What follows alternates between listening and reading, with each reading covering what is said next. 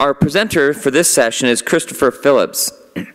Christopher Phillips is the Campus Accessibility Specialist. As the Electronic Information Technology Accessibility Coordinator, I just joked with him that he must need fold out business cards to fit his title on. on. But as the Electronic and Information Technology Accessibility Coordinator at Utah State University, Christopher is available to help you make sure your course is, is as accessible, is accessible to every student in your classroom. With experience in instructional design, special education, and web development, he works to make sure our camp, he works to make our campus more accessible for everyone. If you're an expert teacher or just getting started, feel free to reach out to Christopher at accessibility at usu.edu or uh, to talk with him about making your instruction more accessible to everyone. Please welcome Christopher, Christopher Thank you, Harrison. Thank you so much. Um, so we're going to talk about making your classroom accessible to as many students as possible. So, um, and, and, we will talk specifically about accessibility for students with disabilities. But as we talk about accessibility, we'll also kind of look, look at things that you can do that'll make your classroom just more accessible and more usable to all students. Whether you call it accessibility, uh, universal design, or just good design, there's a lot of these things that you can do that are just going to make you a better teacher in the classroom. A couple of just numbers to be aware of as we get started on this that'll help you, hopefully help you feel good about being here. There, there's a Disability Resource Center on campus where students with disabilities can register if they have a disability and need accommodations. Not all students with disabilities do, but, but many of them do. Last year there were just over 1,700 students um, who, had a, who registered with the Disability Resource, Resource Center to be able to get the accommodations that they need. And so that's a, a, pretty big number, and you're likely to see some of these students in your classrooms. A general statistic that's often used is about, about 11% of students are going to, have, going to have some disability. Not all of them will register or let you know about that, or you won't even be aware of it. But, but, it's, a, but it's a lot of, that um, this is going to impact and be um, just will, that it will affect. One of the goals as we talk today as well is we'll learn some practical tips and some things that you can kind of learn and do, but, but also just to kind of understand a little bit better what the experience perspective of a student with a disability might be. we talk about disability, it can be any number of um, broad general categories, and it's going to be any student with a disability is going to have their own unique experience. Uh, you know, we're talking about students maybe who are low vision or blind, um, or maybe a student a hard of hearing or deaf students with disabilities um, significant mental health challenges. All these different things can affect learning in the classroom in one way or the other. As we talk about accessibility, there's a couple of reasons why um, you may be interested in it. One of them is just the legal issues around accessibility. Increasingly, there are laws out there that, that require that every student, uh, whether they have a disability or not, have access, access to the meals and those in the, in the in your classroom. And increasingly, we're seeing higher education um, being held accountable, lawsuits kind of popping up all over the country um, where institutions of higher learning have, have failed to meet that challenge and are not being accessible enough. And so it's something, certainly something we're very aware of here at Utah, Utah State. There's currently a task force in place to get kind of an accessibility policy and make sure the support supports are available to you. This is things like uh, Americans with Disabilities Act, Section 504, laws like that that just require us to care about this. But, but the better reason, I think, um, the Declaration of Independence here on this slide, but it's just this idea that don't be a jerk, right? I mean, be a good person. We, we want to help other people. We, we want to, we want to we want every student in our classroom, I think, in general, to, to have a good experience and to not have to um, ask for special accommodations or to uh, do anything differently than any other student.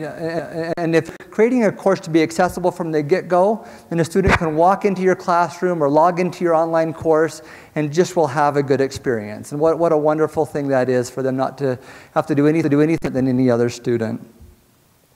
In the, in the physical world, it's easy for, for us generally to tell it when something is accessible or not. You can look at this curb cut and you can see a wheelchair there, and you can tell that's not accessible. It's going to be difficult for that um, person in a wheelchair to get sidewalk down onto the street with that. Versus uh, a curb cut, where we can look at that and we can see that's accessible.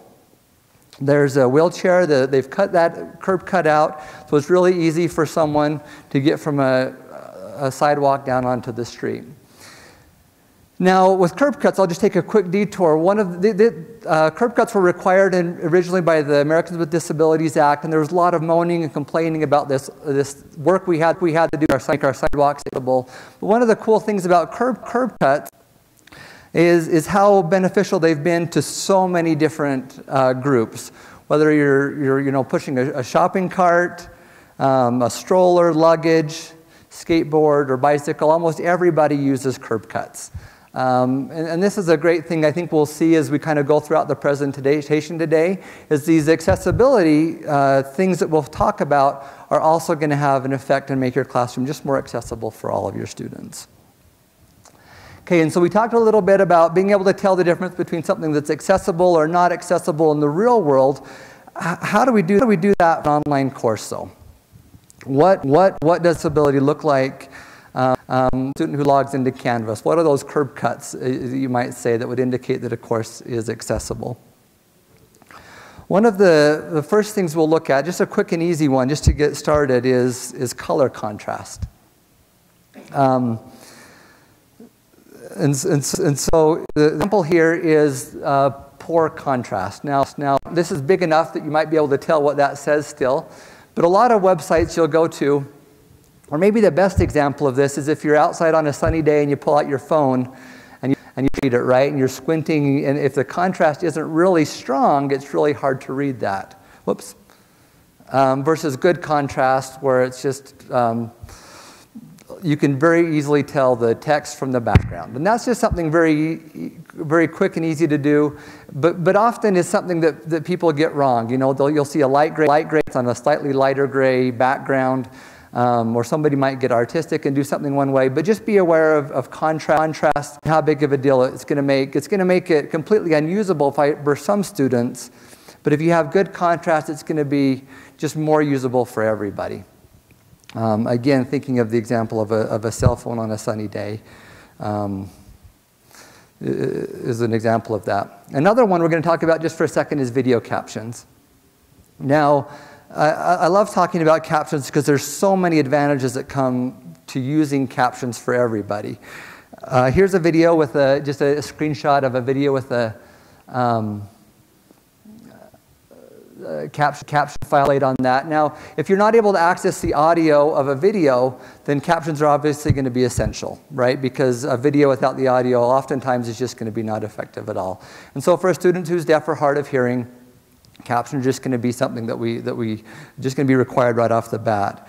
But I think to consider just for a moment um, all of the other uses of captions. I mean, even if we were just to real quick, maybe if you ever turn on captions when watching television, maybe just a raise of hands real quick. So, so a lot of hands raised in the audience. And there's a lot of different reasons where captions are going to come in handy. It may be that uh, you have a student who's learning English as a second language and is able to read a lot better than they're able to, able to hear what is being said. Uh, one of the most frequent uses of captions is in bars and restaurants. Um, you know, where you have the TV up on the screen and, and, they, and, and they don't want to have the audio playing over the conversation, but you can still see what's going on uh, a, a, movie or a show or a, a, video clip where the, where the speaker is difficult, difficult, and captions can again be super helpful there, maybe even just the audio is, is not going to be bad, is not very good. This next slide, and I forgot to let our uh, helper know, are you, are you, you on a link, link quick in that presentation to jump out to a, a demo? One of the, th I want to show real quick a feature that's coming to, um, excuse me, our Canvas videos this fall. It's called, inter, called interactive uh, captions.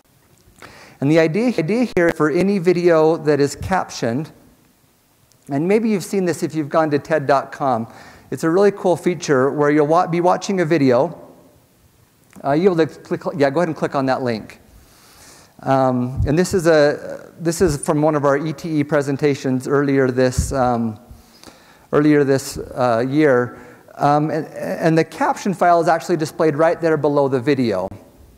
And so if you were to go, go ahead and press play, press play uh, sorry, I'm seeing it on my screen, but you're not seeing it on yours. Are we able to get that on the big screen there? Thank you so much. Oh, except we want to stay uh, with the smaller screen on this one. You can minimize the video again. Uh, this is the first in a series of uh, statewide presentations. And you can see on there, because the, the video is captioned, that as the speaker speaks, every word that he has is, is highlighted, um, which can be useful for some types of learners to watch that. Uh, maybe go ahead and turn the audio down while we do that. But another great feature of this is that you're able to search through a, a, a lecture. So say you had a 60 minute lecture, and in this case, would you mind searching for, I remember somewhere in the middle of this, he talked about millions. So if you go ahead and type in millions into that search bar right there, um, then go ahead and click on that where it says there's millions of dollars right there. And the video will immediately start playing right there in that, that section of the video. video. Again, and this is something that because this video is captioned, this is just going to come out of the out of the available to anybody to use for any of your videos in Canvas. Super helpful. Students can also quickly download the transcript if they want, um, and then they can take it on the go and read through it or use it for whatever reason they want to. Thank you so much. You can go ahead and pause that and maybe jump back to the presentation.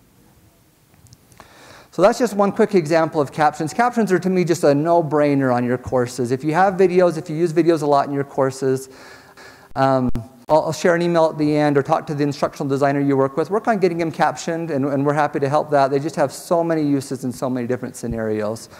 And then when you do have, do have a student deaf or hard of hearing in, come into your classroom, they'll be, they'll, you'll be set and ready to go, and your videos will all be accessible already. Next one I want to look at just for a second is a consistent structure. This is one that hopefully many of you are doing already to some degree because it's just a it's just good practice in general. But we'll go through a quick example. Uh, let's say you're setting up a new course and your instructional designer gives you a, a quick, maybe this is just a base, very basic template, right? And they say, go, knock yourself out, add your content, do what you will. Um, but as an instructor, maybe you get to see, the, see that you can things in there if you want to, so you start playing around with a little bit. Maybe even know just, just enough HTML to, to get really creative and start um, rearranging things. And, and you want to have every module be different and, and, and to match your personality. And so you've got a, a very unique thing. But then what that can lead to is a type of, type of an for a student where from one week they'll log in and have and, and know kind of see one type of course experience and the next week they might log in and see something completely different which can obviously be a, cha- a challenge, is, is some type of more consistent experience. Uh, and not to say that everything has to be exactly the same or you can't be creative, but just to keep in mind, you know, for a student maybe with uh, attention issues or some learning disabilities, creating this kind of, of consistent structure can really be the difference between that student logging in and feeling safe and, and successful or feeling, feeling anxious, confused, and even abandoning the course or the assignment for that day. And so, just again, something to keep in mind, keeping your, your course experiences uh, consistent, distant board. A big one for a lot of instructors, as far as making your stuff usable, is, uh, is your files. Uh, your Microsoft Word, PowerPoint, uh, Adobe, uh, PDF files. Um, how many of you have, maybe it's in one of your courses or, or, or seen a course where you've downloaded a file and a PDF and it's kind of skiwampus and half dark and the text is, is half legible. Just not going to be usable for anybody, right? Uh, but especially not for someone who is blind in that case. It, certain PDF files, if they're not um, prepared the right way, there's absolutely no text that shows. It's just a great big image. But there's some really quick um, software we can run that through that makes, takes all the text, even in those messed up files, cleans it cleans it up a little and makes it available and usable to everybody. Um, and so, and there's a lot of little things you can do in, in, in any of those, those formats. I want to look real quick. I'm going to jump to another, to another. You could just click on that link for us about the importance of headings in uh, just in a Word. And, and, headings often are going to be whether it's a Word document or a PowerPoint document. Um, Thank you so much. And so you can see here um, a document that's marked up, and there's, it shows that there are headings on the page, right? You have a, a top level heading, a second level heading, and then just some text in there. Um, and, the, and the key thing is here is when you're creating headings is to actually use heading styles in Microsoft Word. And many of you, again, might be using this already because there's a lot of advantages to doing so. Um, but, but as an example, this heading right here is actually a heading, but this one right here, all I did was made the text bigger. And if you make the text bigger, it looks like a heading, but it doesn't act like a heading to someone who is blind. Um, and it's going to make it a lot more difficult. Now, if you do add headings, other features it gives you, can you click on the Tools button right there at the top? And then just click on, um, maybe it's Format, I'm sorry. Outline. Where did Outline go? Try Tools one more time. Anybody see Outline? Document outline, thank you. I was looking for a no. Um, and, and, so you can see that if it's marked up correctly with headings, it's a quick way that you or I visually might scan through a document by looking at the headings, the same way uh, someone, someone who's able to now scan through your document using those headings as well. You'll notice this one right here that actually isn't a heading doesn't show up on that. And that would be the experience of someone who is blind. If you're not using headings, it just wouldn't be as accessible. Thank you so much. Jump back into the presentation. Okay, so with all these accessibility, sometimes, um, and, and, maybe it's a first day of class and you have somebody, somebody come, it can be overwhelming to consider all the things you might need to do in your classroom or in a course to make sure it's accessible. And we want to make sure that, that you know there's a lot of resources available and you don't need to become an expert in all things accessibility to be able to create an accessible classroom experience. Uh, but you do need to know who to reach out to and where to get help. And so I just want to share a couple of those resources that are available. The first one I mentioned briefly earlier is the Disability Resource Center. Um, David Pruden uh, does a fantastic job over there. They're the, the group, and they're in the bottom of the University Inn. Anytime a student with a disability um, registers with their office, they then understand what accommodations are needed, and if that student registers for your classroom, they'll reach out to you um, toward the beginning of the semester or a little bit early and, and talk to you about anything that you might need to do and offer the support that's going to be needed to help you make sure your classroom's accessible. At the same time, if you have a student that you might have some questions about or you need some resources in meeting a unique learning need, just reach out to the, out to the Disability Resource Center and they're super anxious to help you with any type of need that exists that way. Uh, the other group I'll just mention, we're, we're super fortunate here at Utah State. WebAIM is one of the, the most trust, trusted ability organizations in the world, and they're right here on our, camp, our campus. Um, some of you may have worked with them or seen them over in the Center for Persons with Disabilities. They have a fantastic website, a lot of resources if you're ever interested in just learning more or becoming familiar with accessibility. They have, they have a great introduction to web accessibility kind of a module that they take you through. This is a tremendous resource, highly, highly recommended. And then I, then I, I up uh, my contact information. Part of the emphasis the university is putting on accessibility, I just came on, uh, came to campus just in the last year with a brand new position, uh, the title of Accessibility and Information Technology Sorry, I, I, don't even get it all right all the time. Ex electronic and Information Technology Accessibility Coordinator. But, but just as he, I'm here to help with this kind of stuff and to help you be aware and, and whatever we can do to, to help out that way. And so if you just, um, even if you don't have a student with a disability that you know is coming, but you want to just talk about this or this, or what can I do to make sure my course is ready or prepared, I, would love to continue to have that conversation. Um, this, this, this, is a really big deal, and it, make, and it makes such a, diff, a difference. To walk into a classroom and to see that you've, that you've taken some of these, done some of these things already, or that you're willing to, it just, just creates a whole different um, feeling and, and, and, and, welcoming to the classroom. Can help those students have every success that any other student does. Um, as you make these efforts to, to make your courses accessible, more accessible, there's a lot of other advantages that come besides the accommodation feature. Those are important on their own. Um, but as we do this work to kind of design our courses in a way that they're accessible to students with disabilities, really creates a course that is just more accessible to every, every student. Um, every student obviously has different learning needs, different backgrounds, different experiences that they come to your classroom with. And looking at these needs and how we can support every single student is just going to make your classroom a much friendlier place for every student to be in and a better learning experience for every, everyone. So thank you so much. With that, I'll just ask if there's any questions anybody has about anything specifically on ability.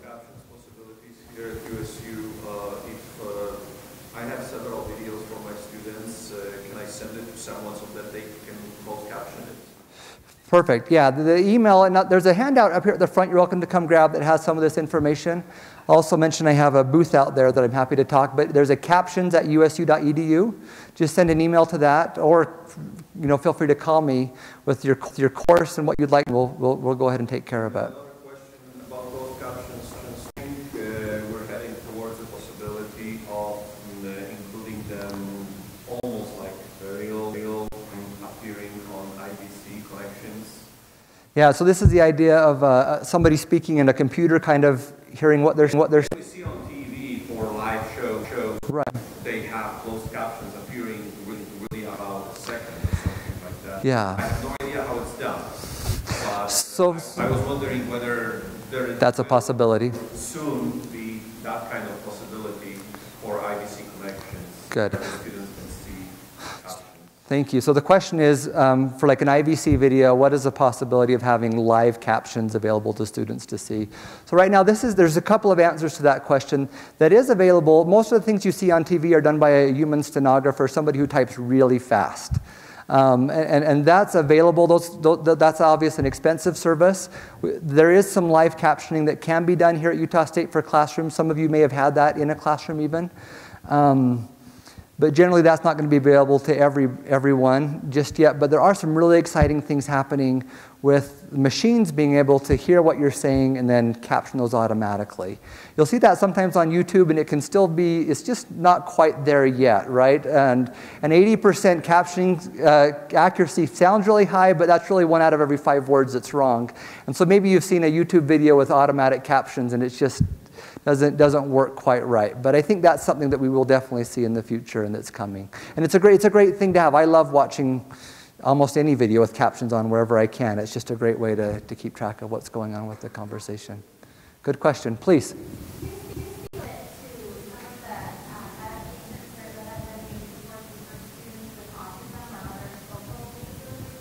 Good. Yeah, for a student with something like autism, um, on the on, on autism spectrum, that's going to be um, um, so unique to what that student is, is going to be. And so I think generally what you would look at there would be what are that student's specific learning needs. And in, in that case, it might be that the, the consistent structure might be a really big deal to that student. Um, it might be that um, having a, a note taker in class could be something that would be really helpful. It might be uh, having audio versions of a textbook that could be something that would be done. That's going to be so unique to a student. And that's something that can be, um, some types of, of learning needs can be difficult to prepare for beforehand, but some of these just basic best practices will hopefully be helpful. Happy to visit about any specific questions later on. Please.